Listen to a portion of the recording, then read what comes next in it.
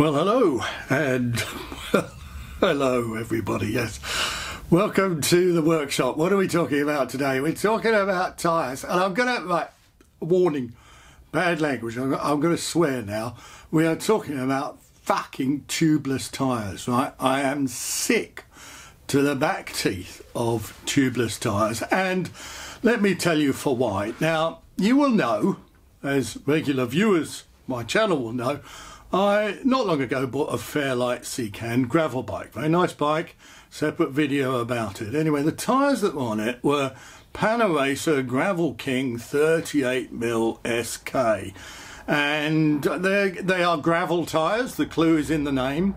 I know they're not supposed to be puncture proof, but you do kind of think that if you're travelling on gravel, you're travel graveling, gravel travelling, uh, you're going to be less prone to punctures. And maybe some people aren't, and may, maybe some people are less prone, and maybe I'm just accident prone. Anyway, if you watched one of my recent videos, you will see that I went for a gravel ride, very enjoyable gravel ride, only I had a puncture. Well, I thought, well, these things happen.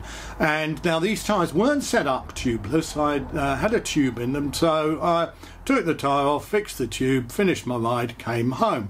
Well, so far so good. But then I thought, if they were tubeless, perhaps things would have been better and I wouldn't have had what I thought was a pinch puncture. So I took the wheel out of the bike and I took the tyre off and I removed the inner tube and I managed to seat the tyre on the wheel. Here's the wheel here. The wheel is probably not germane to this particular story, but this happens to be the wheel.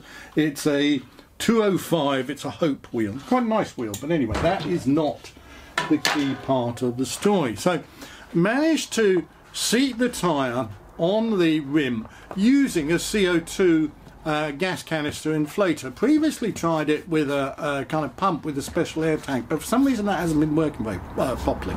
So did it with the gas canister and it's seated. Whoa, I thought, well, I'm cooking with gas here, cooking with CO2 gas even and I thought, oh, this is going well.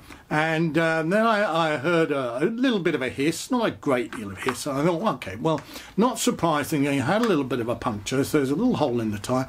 I know, put some sealant on, and the sealant will do its job, and it will seal the hole. Well, put the sealant in, pump the tyre up, and whoosh, an absolute ejaculation of sealant all over my workshop and all over me too. Rather uh, disgusting sight it was. So I thought I have a look at the tyres. I inspected the tyre, and there seemed to be quite a well. I suppose it was about a centimetre wide. About a centimetre wide. Is that about a centimetre uh, gash?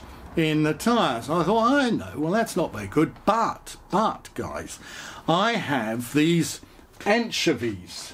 You may have heard of anchovies. These are the magic solution if you have a uh, big gash in your tubeless tyre, you take this this insertion tool here, don't know if you can see that, and you take one of these uh, black kind of rubbery things which are here. They're sometimes known as anchovies, they're sometimes known as uh, bacon strips.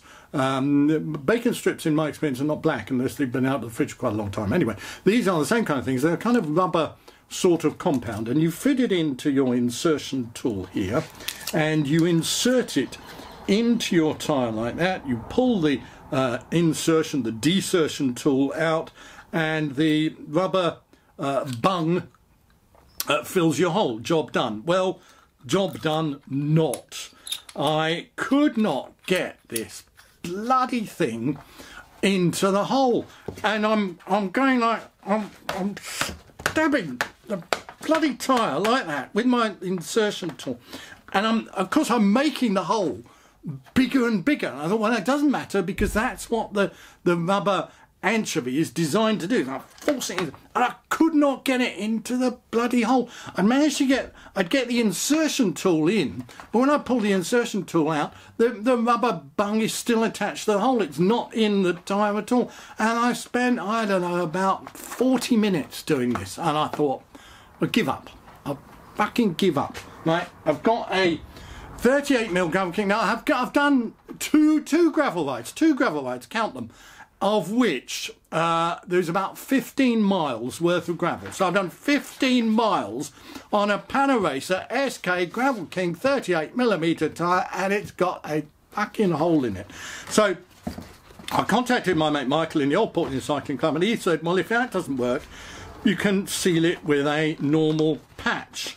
So I've done that. I don't normally patch inner tubes and bugger me, I don't normally patch tyres either. So anyway, I put this patch on. But then I think, well, do I really want to ride on a gravel route? I'm just trying to find the, just trying to see the hole here for you. The trouble is, it, it's quite a big hole in the tyre, but it's not something you're going to be able to see even if I hold it up really close to to hold that really close to my eye because this camera focuses on my eye, I, I still think you can't see it. So anyway, do I want to put this tyre back on the bike, uh, tubeless, pump it up hard, go for a gravel ride with just that little patch on it? And I think, well, no, actually, I'm, I'm not sure that I do.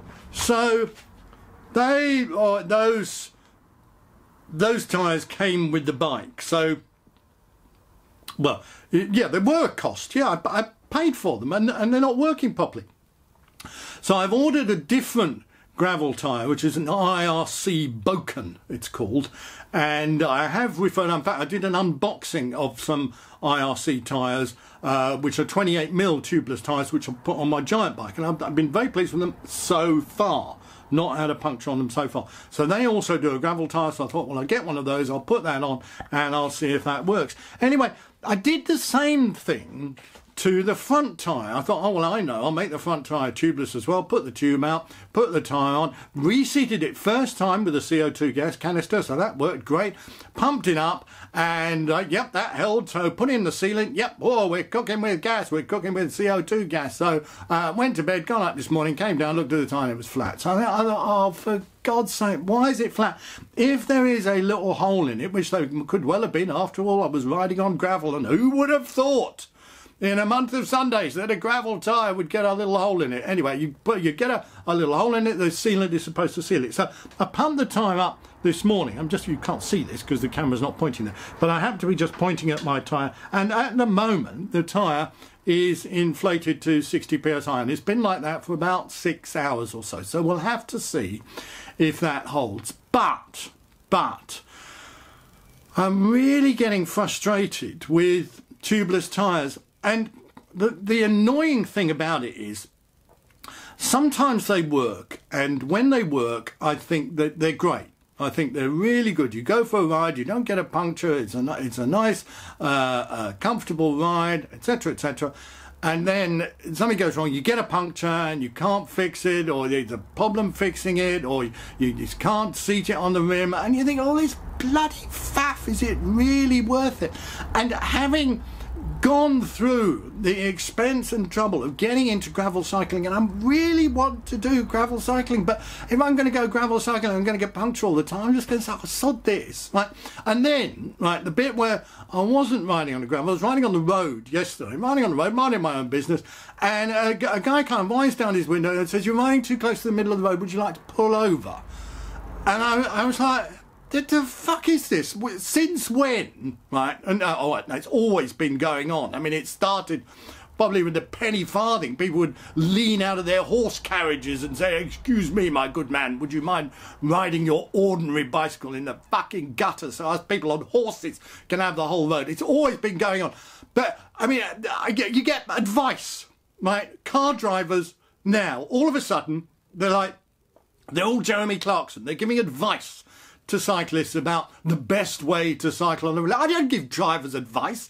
I don't stop people on the middle of the road and says, excuse me, if you're thinking of turning right, you might just want to indicate occasionally, or if you're driving a fucking BMW, you might occasionally decide to slow down and not overtake 20 yards before you're going to take a left-hand turning. I mean, I don't stop truck drivers and say, by the way, when you're going through a, a puddle, would you kind of avoid splashing me with water all over? That? I mean, I don't do that. I don't give people advice. Why do people choose? Why do people think they have to give me advice? About how I should cycle on the road. I don't fucking need it. I know what I'm doing, right? So, I'm fed up with cycling. I'm fed up with gravel riding. I'm going to go back on Zwift. I'm not going to ride on the road anymore. I've had it.